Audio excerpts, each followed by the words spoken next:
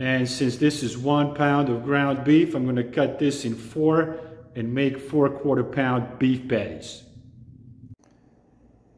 I just want to give you a quick look of unpackaged beef and what it looks like. So what I like to do, I like to roll it into a meatball and then smash it. And it kind of goes like this. It's pretty easy to do.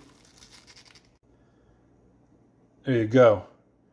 A nice smash burger. Here it is, ready to go. All right, here you go.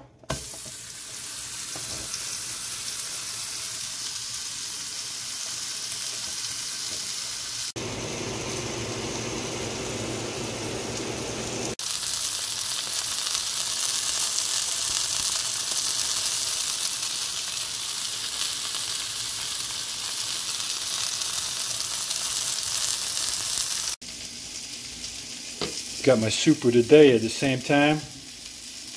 Looking real good.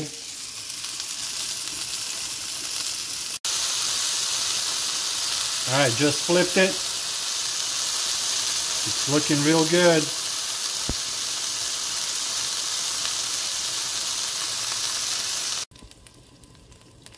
I got cheese on it and we are ready to plate. All right, here's the smash burger. Looks real good. And I'm hungry, so let's bite into it. Oh yeah, let me get my glasses off, man. Let me take my glasses off.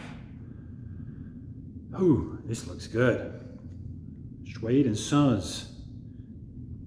Smash burger.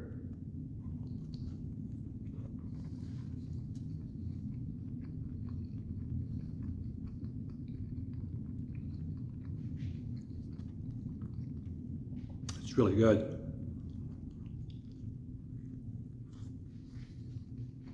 Oh yeah.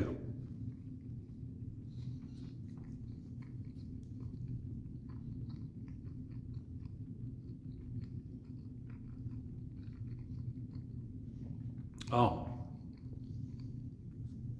I'm just going to go out and say it. Uh, it's way better than their beef patties. I like this better than their pre-made beef patties.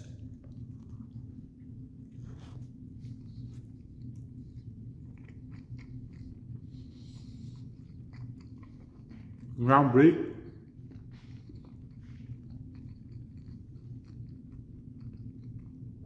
Tastes very fresh, uh, good. You can season it any way you want. You can smash it or not. It's great.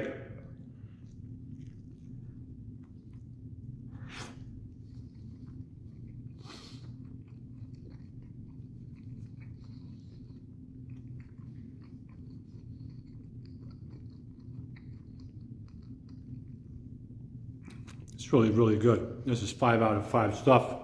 Thank you guys for tuning in. See you in the next one.